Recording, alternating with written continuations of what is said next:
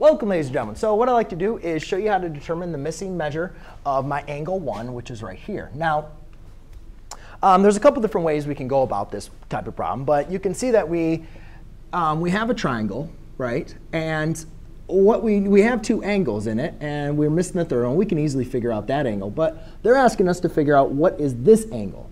Um, and they also tell us that we have parallel lines. And I remember whenever I see parallel lines, I'm always thinking of my angle relationships, alternate interior, alternate exterior, corresponding, and same side interior.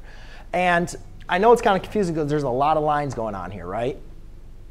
So if I'm looking at these parallel lines, um, I also see intersecting lines, which I should be careful because intersecting lines also tell me look for other um, angle relationships, vertical angles and linear pair. So I'm actually going to do that first. Since this is 80 degrees, so I have this triangle, right? I know this is angle 1. I want to figure out what these two are so I can figure out what angle 1 is. Well, notice that 80 degrees, I can apply my vertical angles, right, because they share a um, vertex but don't share any sides. So I can now say that that's 80 degrees. Now, the last angle I need to figure out is what is this one. And I know what 14 is, but how can I relate 14 to over here? Am I positive that those are the same? Well, I notice that 14 degrees and this angle are both on this line, right? One is to the right, one is to the left, okay? They're both on this line, and they both kind of touch our parallel lines. So what I'm going to do is I'm going to kind of forget about all of these lines for a second and see if I extend these parallel lines,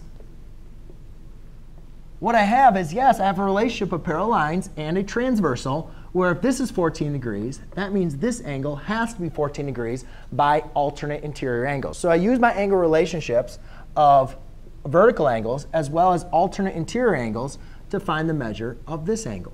Now, all I simply need to do is use the triangle sum theorem to be able to find my missing measure. So I'll create a, a formula. So measure of angle 1 plus 80 degrees plus 14 degrees equals 180 degrees. Combine these. Measure of angle 1 is equal to 94, oh, I'm sorry. Measure of angle 1 plus 94 degrees equals 180 degrees. Subtract 94 degrees. Measure of 81 is going to equal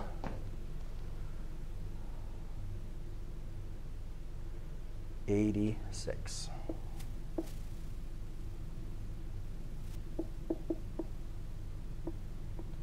86 degrees. So there you go, ladies and gentlemen. That is how you use angle relationships to help you determine the missing angle of a triangle. Thanks.